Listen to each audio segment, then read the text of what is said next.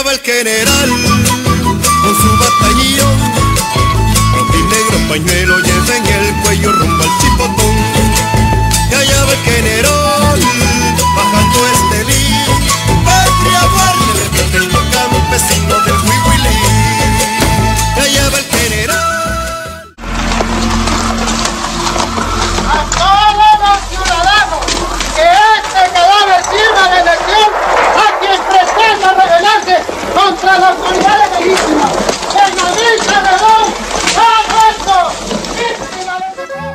Estas imágenes de la madrugada del 4 de octubre de 1912, junto a las humillaciones que sufría el pueblo trabajador nicaragüense de parte de la burguesía, despertaron el sentimiento nacionalista de un muchacho niquinomeño de tan solo 17 años de edad, que décadas después se convirtió en el símbolo de la dignidad nicaragüense.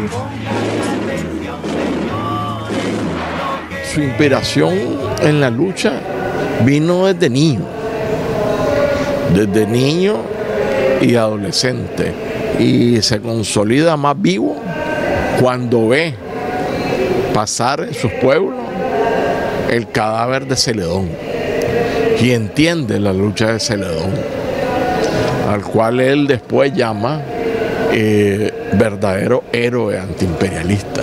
cuando él se declara testigo de aquel, de, aquella, de aquel asesinato orgiástico que hizo el imperio contra Benjamín Celedón, en él estalla una profunda conciencia de nacionalismo.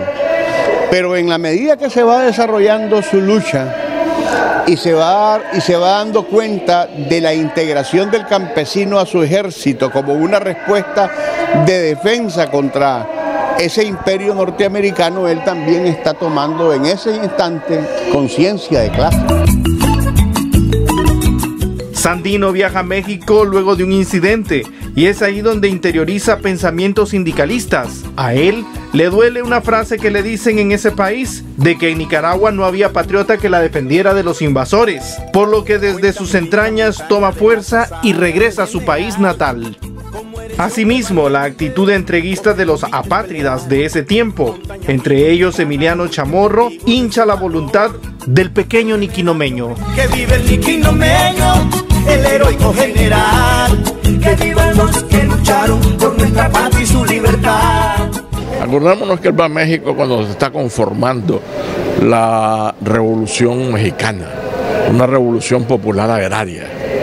Eh, y ahí está fuerte el sindicalismo, ahí está fuerte el movimiento campesino, el movimiento agrario, el movimiento nacionalista. Y ahí él asume una posición nacionalista fuerte, que ya con su inspiración de Celedón, de la lucha antiimperial y contra la invasión en Nicaragua, eso viene a ir consolidando más su pensamiento y su disposición a luchar por una Nicaragua libre. Y Sandino tuvo una fuente de conocimiento, de inspiración en México, se relacionó con grandes dirigentes sindicales en México y, aprendió mucho sobre lo que era el nacionalismo, porque el pueblo mexicano está lleno de nacionalismo y Sandino aprendió y conoció las barbarias y las barbaridades que cometían ahí también los norteamericanos contra el pueblo mexicano.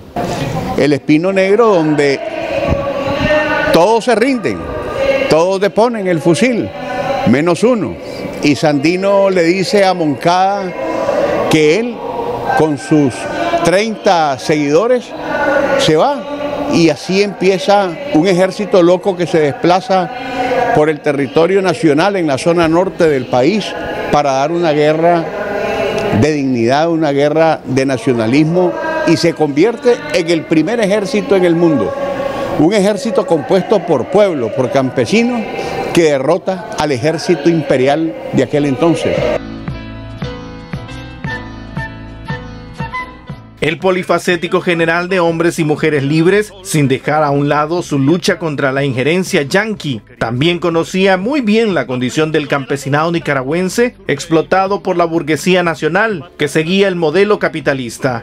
Es por ello que para luchar contra este modelo indigno, inicia el cooperativismo en el norte de nuestro país, en una zona agrícola. Es así que en 1933, ¿verdad? Nuestro general de hombres libres, después de haber liberado con el ejército defensor de la soberanía nacional cierto territorio en la Segovia, comenzó a, a formar la primer cooperativa que nace junto a las riberas de, las aguas del río Coco. Ahí se organizaron a, campesinos y campesinas propiamente para producir la tierra. Dentro de lo que es el rubro propiamente eh, agrícola, eh, también la parte de la ganadería para que la gente pudiese administrar, pudiesen tener la opción, la oportunidad de producir y al fin y al cabo liberarse propiamente del yugo opresor. Obviamente siguió, veamos, la lucha porque fueron muchas otras cooperativas las que se organizaron y vean que importante porque esto, tiene que ver con ese legado, ese legado que más que ser, ¿verdad? Un proyecto se convirtió en un modelo propiamente de trabajo para los y las campesinas, para los y los obreros de en ese entonces. Y es emblemático que el día que se viene a Managua para la cena con el presidente Sacasa, él recibe la gaceta donde oficializa la cooperativa que él había formado y que Blanca Arau le había ayudado. Ya se le da el reconocimiento oficial. Y dicen que cuando él venía a Managua no le dio tiempo de bajarse en, donde estaba la cooperativa, los dirigentes cooperativos, entonces voló rasante y desde ahí dejó caer la caseta donde estaba ya oficializada la cooperativa. Y se vino a Managua a la cena de la paz, del arreglo, donde fue traicionado vilmente y asesinado por orden del imperio.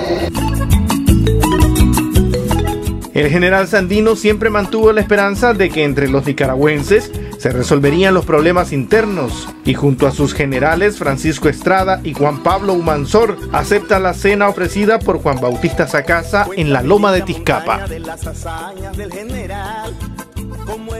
Él creyó en los traidores porque quería su patria, no quería más guerra para Nicaragua y por eso lo mataron, porque Sandino eh, cuando vino a Managua vino con toda la voluntad de firmar la paz pero la traición, la maldad se escondió en una noche y asesinaron a Sandino, sus generales, a su hermano, a Sócrates, porque creyeron que asesinándolos iban a acabar, iban a asesinar con esa voluntad del pueblo de Nicaragua.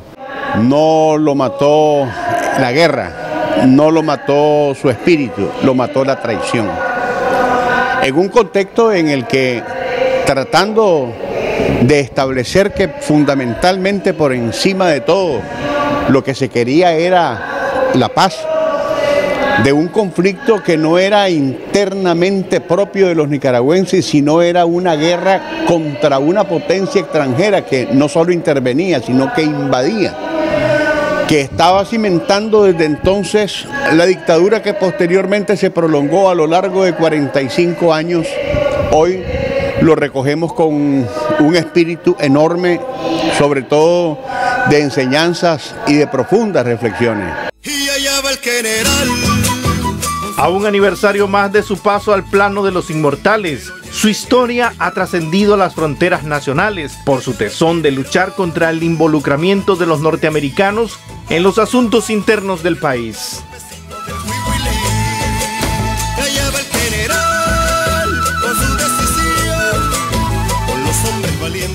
Sandino es un símbolo no solo nacional. Sandino ha trascendido los colores políticos. Sandino ahora es un héroe de todos los nicaragüenses y un héroe internacional. Eh, a mí me da una gran satisfacción cuando he salido fuera de Nicaragua, lugares tan lejanos como China, Japón, Europa, cómo hacen un reconocimiento a la gesta heroica de Sandino, a su sacrificio. Recordad que él desarrolla por primera vez en América Latina la guerra de guerrillas que le dio tantos dolores de cabeza a los norteamericanos. Eh, era un estratega que con cohetes de los que usamos en la Purísima eh, derribó aviones, derribó aviones cuando los aviones norteamericanos atacaban el Chipote y eh, fue el maestro de la emboscada. En uno de los puntos más altos de la ciudad de Managua se erige la silueta del máximo símbolo de la dignidad, el mayor promotor del humanismo, la justicia, la colectividad y el bienestar de las y los nicaragüenses.